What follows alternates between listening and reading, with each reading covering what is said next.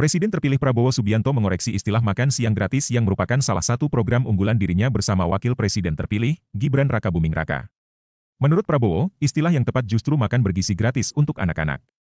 Prabowo punya alasan khusus mengapa mengganti istilah tersebut. Saya ingin sedikit koreksi ya. Setelah kita pelajari, ternyata istilah tepat itu adalah makan bergizi gratis untuk anak-anak. Itu lengkapnya ya, kata Prabowo dikutip dari YouTube TV One News, Kamis, 23 Mei 2024. Karena kalau anak sekolah dasar umpamanya masuk pagi, dia kalau nunggu makan siang kan terlalu lama. Jadi harus makan pagi.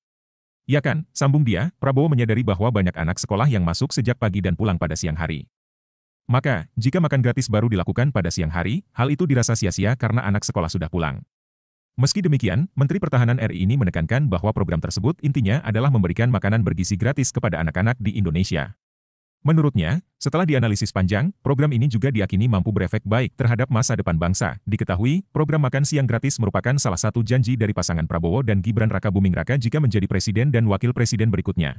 Download Tribun X sekarang, menghadirkan lokal menjadi Indonesia.